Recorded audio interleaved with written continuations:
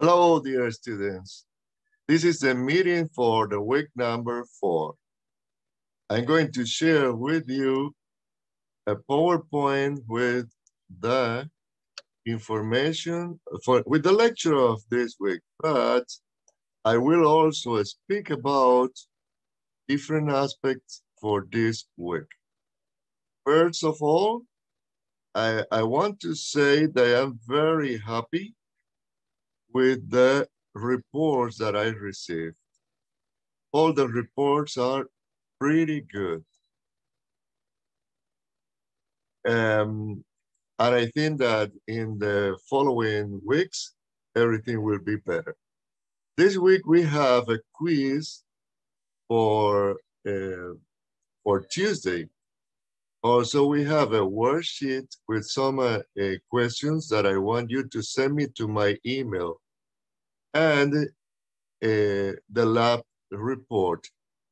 The, the video of this week for the lab is very clear and you will have all the uh, data and everything is explained step by step. Um, as always, you will have the, the homework that will be for Thursday at 10 p.m. And uh, next week, on Monday, we are going to have the first exam. Then uh, what I mean is uh, in July, the, the, the first day, the first uh, Monday of July will be the first exam. I will prepare a review, a video like this, uh, with some activities, or maybe uh, I will send you some exercises, some uh, types of exercises that will help you to study.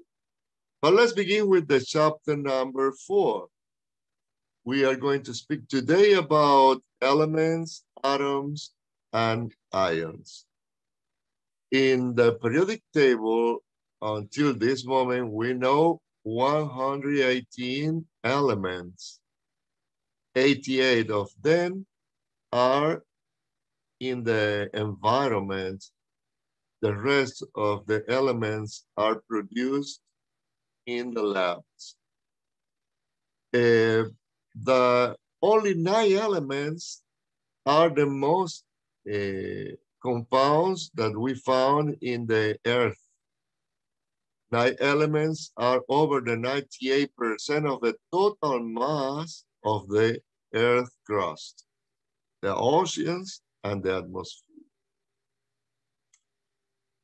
Uh, here you can see how oxygen, silicon, aluminum, iron, calcium, sodium, potassium, magnesium, hydrogen are the elements that represent most of the of of the earth.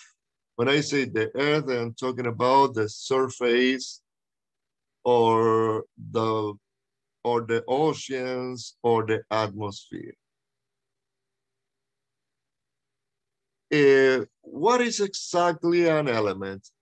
An element is a single atom and can be represented by uh, the letters. For example, here we have argon and hydrogen. They, if they join together, the atoms can join together and, and make molecules. For example, two atoms of hydrogen make hydrogen molecule. Uh, that is what we found in natural state as hydrogen. But uh, some elements are present in elemental form or in uh, making compounds. The, the names of the elements and the symbols. Each element has a unique one or two letter symbol. The first letter is always in the capital case. The second one is lowercase. The symbol usually consists of the first or the first two letters of the element. For example, oxygen is represented by O. Krypton is represented by CR. Sometimes the symbol is taken from the element's uh, original Latin or Greek name. For example, gold is AU from from this name that comes from Latin, or lead is, is uh, taken from this name, plumbum. That's why it is PB and it doesn't have to be with the name in English. Here you have the names and symbols of most common elements.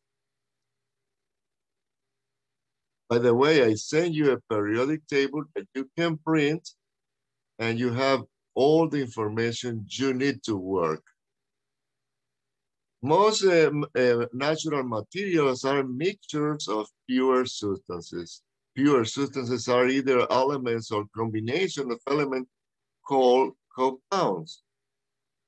A given compound always contains the same proportions by mass of the elements. The law of constant composition says that a given compound always has the same composition regardless of where it comes from. For example, water doesn't matter if, if it is in the in in form of a liquid, gas, or solid. It contains always eight grams of oxygen and one gram of hydrogen. Carbon dioxide always contains 2.7 grams of oxygen for every gram of carbon. The Dalton's atomic theory says that elements are made of tiny particles called atoms. All atoms of a given element are identical. They are the same. The atoms of a given element are different from those of any other element. And the atoms of one element can combine with atoms of the other elements to form compounds. For example, here we have that uh, nitrogen monoxide is made by one atom of nitrogen and one atom of oxygen. While nitrogen dioxide is made of two atoms of oxygen per one of nitrogen, and so on. Atoms are not possible to be divided. You cannot divide a, an atom by chemical process. Atoms are not created or destroyed in a chemical reactions in a chemical in a chemical reaction simply changes the way the atoms are joined together. Okay, here you have a question. Which of the following statements regarding Dalton's atomic theory are still believed to be true? Elements are made of tiny particles called atoms. All atoms of a given element are identical. A given compound always has the same relative number of types of atoms, or atoms are indestructible. Well, the answer is these two.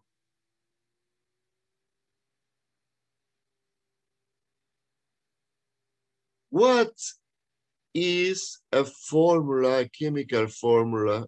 Well, a compound uh, is a substance that is compounded by two uh, uh, atoms or more of the same element or different elements, but they contains always exactly the same relative masses of those elements, as I showed you before. The chemical formulas express the types of atoms and the number of each type in each unit or molecule or a, of a given compound. For example, here we have the symbol for sulfur and the symbol for oxygen. Here you have one atom, you don't write the one, but you consider that there is a one in here, and it expresses that there is only one atom of sulfur per three atoms of oxygen. Here we have an exercise. The pesticide known as DDT paralyzes insects by binding to their nerve cells, leading to uncontrolled firing of the nerves. Before most of the uses of DDT were banned in the US, many insects had developed a resistance to it. Write out the formula of DDT. It contains 14 grams of atoms, of carbon atoms, nine hydrogen atoms, and five uh, atoms of chlorine. Well, the formula is you, you write the symbols of the elements and the subscripts indicate the number of atoms of each compound. Uh, Thomson in, in the 19th century, at the beginning of the 20th century, by the way, showed that the atoms can be made of, uh, can be made to emit tiny negative particles. These particles were known as electrons and concluded that the atom must also contain positive particles that balance exactly the negative charge carried by electrons. So Thomson discovered the electrons. And he says that the atom was uh, were neutral. So if they have a number of electrons, they will have the same number of positive charges. Until that moment, protons weren't known yet. William Thomson used the plum pudding model to express the uh, structure of the atom uh, according with the knowledge he had from the atom. He represented a mass that he considered positive, and among this mass were the electrons that were negative, like a like the plum in a pudding. Of course, this model was wrong, but it was an advance by that time. Ernest Rutherford conducted an experiment of alpha particles uh, bombardment on a metal foil. Uh, and he concluded that the plum pudding model was wrong that the atom has a dense center of positive charge that he called nucleus. And the electrons travel around the nucleus at a relatively large distance. A proton has the same magnitude of charge as electron, but its charge is positive. Most nuclei also contain a neutral particle called the neutron. A neutron is slightly more massive than a proton, but has no charge. The atom contains then electrons, negative, and are found outside the nucleus in a cloud. Protons are found in the nucleus and they have positive charge with the same magnitude in charge than the electron, but that is negative. Neutrons are found in the nucleus with no charge and virtually has the same mass as a proton, maybe a little higher than a proton, but slightly higher. Then we can see here in this table that the electron has a mass of one, while the proton and the neutron are very, very, uh, or are heavier than an electron. The charge of the uh, electron is negative one, the charge of the proton is positive one, and the neutron has no charge. This uh, relative mass is is uh, uh, is not the real mass. It's just a comparison. So uh, that you can see that protons and neutrons are heavier than electrons. Why do different atoms have different chemical properties? Well, the chemistry of an atom arises from X electrons. Electrons are the parts of the atoms that it combines or interact with other atoms to make molecules. It is the number of electrons that really determines the chemical behavior. Then remember, electrons, and in especially a group of electrons that I will speak about later, are the ones that deter determines the chemical behavior. Isotopes are atoms of the same number of protons of the same element. I'm talking about one element can have atoms with the same number of protons, but different number of neutrons. Even though they are the same atom, one are heavier than the others. They show almost identical chemical properties. The chemistry of an atom is two to X electrons, so it doesn't matter it has more or less neutrons for the chemical behavior.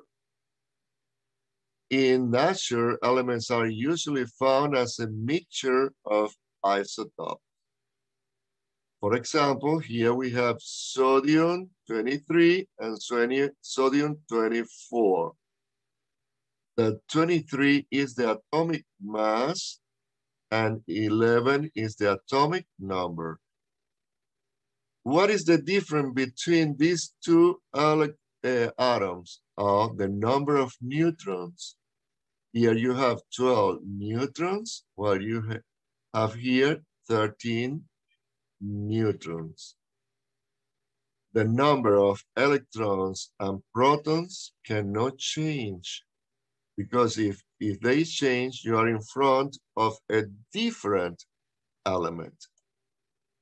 For example, you can represent an atom by the symbol. In this case, I will put an X. A is the atomic mass and Z is the atomic number.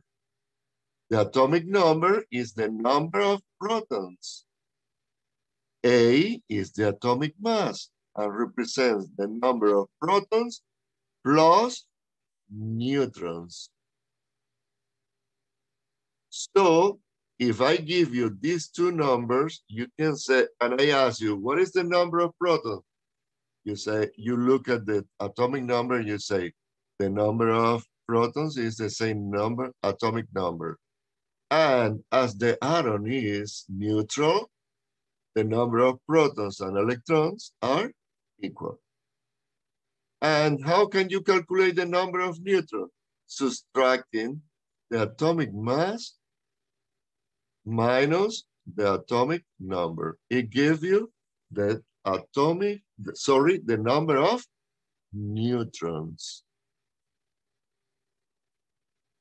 here you have the number, the atomic number and the atomic mass for two isotopes of carbon. In this case, you have six protons because the atomic number is six. Same thing here. What is the difference?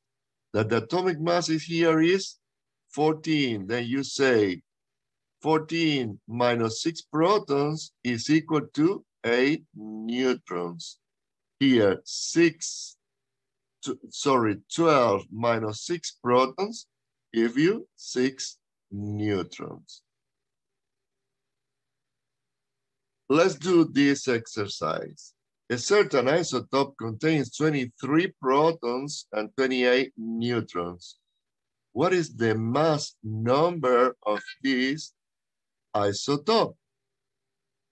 And identify the element. Well, the mass number is uh, obtained by adding protons plus neutron is 51 and the element with atomic number 23 is vanadium. You can go to the periodic table that I provided and you can find that 50, 51 correspond to vanadium. Look, you come here and you say, well, vanadium is 50, one, 50, sorry. Let me go back because if 51, okay? Then you come here and you, you find out that uh, the atomic number, the element with atomic number 51 is vanadium. Here, what you're lo looking is the atomic number because the periodic table is a representation of the elements in, in the order of increasing atomic number. That's why you begin by hydrogen, number one, and then helium, number two, lithium, three, beryllium, four, boron, five, carbon, six, nitrogen, seven, oxygen, eight, and fluorine 9, and so on. The periodic table is divided in columns. These columns are known as groups and are divided in periods. Period one, period two, period three, and also is divided into types of elements. Representative are made by group 1A and 2A plus 3A, 4A until 8A. This block and this block make the representative elements. The block in between are the transition elements. In the bottom of the table, you can find the lanthanides and the actinides. Then, the periodic tables also divided metals from non-metals. Groups or families that are the columns and periods that are the horizontal rows of the element. Look at here. This zigzag line divides non-metal from metals. As you can see, most of the elements are metals. And in between, the blue ones are the metalloids. They have properties of both, of non-metals and metals.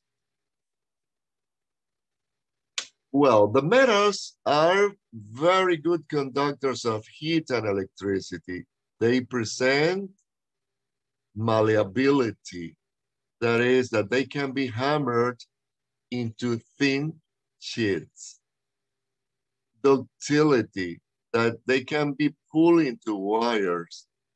And lustrous appearance. Most of the uh, metals are gray and brilliant, shiny. While the non-metals are have a, a very a different kind of properties. They can be gases, liquid, or solids at room temperature. Uh, they, the metalloids, are a mixture of metallic and non-metallic properties. In the the in the natural state, the elements are very reactive. Elements are not generally found in pure form because of this reactivity. Ex exceptions are the noble uh, metals like gold, platinum, and silver, and the noble gases that are in group 8A. The diatomic uh, molecules are made of two atoms of the same element. For example, nitrogen and oxygen. Elements that exist as diatomic molecules uh, are, for example, hydrogen, that is a colorless gas, nitrogen, that is a colorless gas, oxygen, that is a pale blue gas, fluorine, that is a pale yellow gas, chlorine, that is a pale green gas, bromine or bromine, that is reddish brown liquid, and iodine, that is lustrous dark purple solid. Iodine is not the liquid that is sold at the pharmacy, that is a solution. The allotropes are different forms of a given element. For example, carbon can be in three different ways. Diamond, graphite, and this compound that you can find here. Here you can see the, the distribution of the atoms in the space for diamond that makes a very hard uh, structure, maybe one of the hardest in the environment. While graphite is made of layers and this is the Buckminster Fullerene.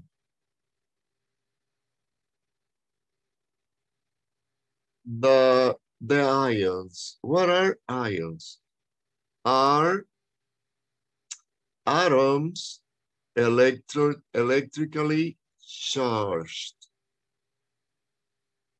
And it can happen because the atoms can lose electrons and be converted into positive ions while a non-metal used to gain electrons and are converted into negative uh, atoms.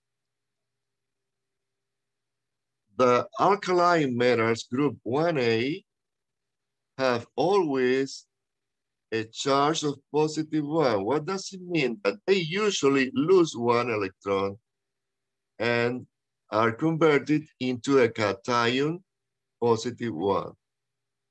The alkaline earth metals in group 2A usually lose two electrons and they make a cation with charge positive two.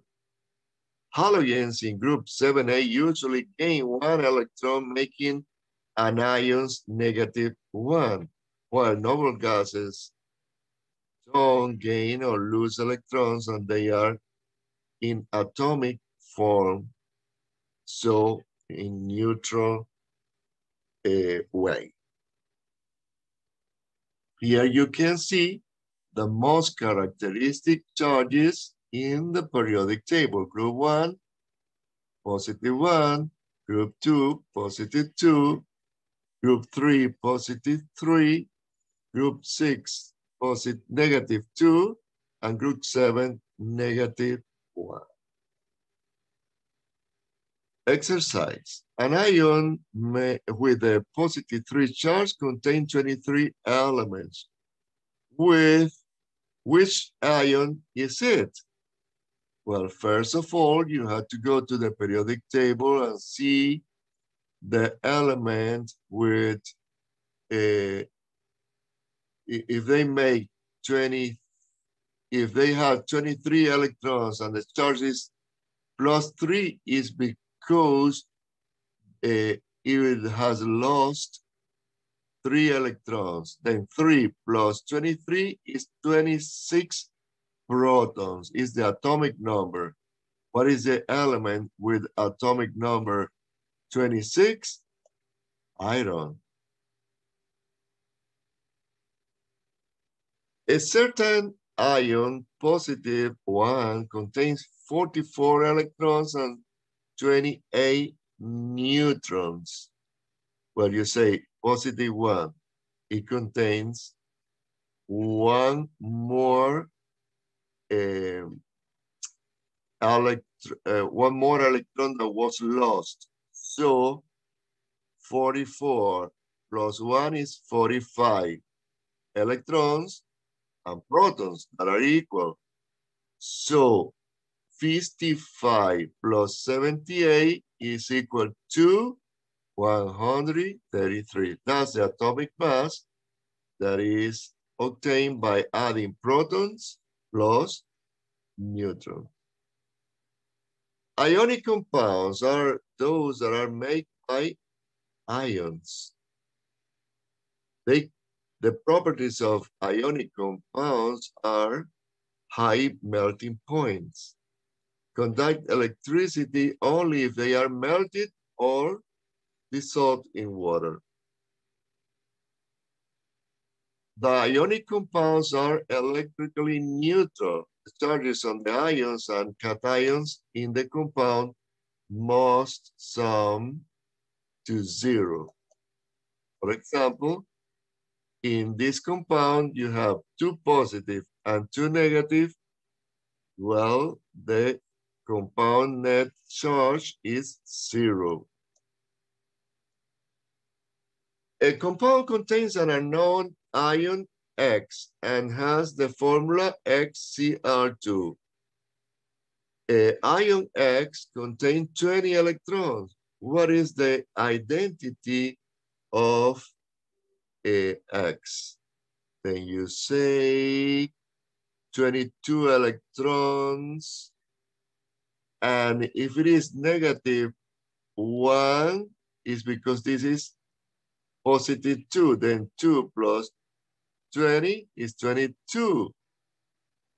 And the element with atomic number 22 is titanium. A member of a alkaline earth metal whose most stable co contain 33, 36 atoms form a compound with bromine. What is, what is the correct formula of the compound? Well, this is. You can stop the video and and try to solve this by yourself. Well, that's all for today. See you next week.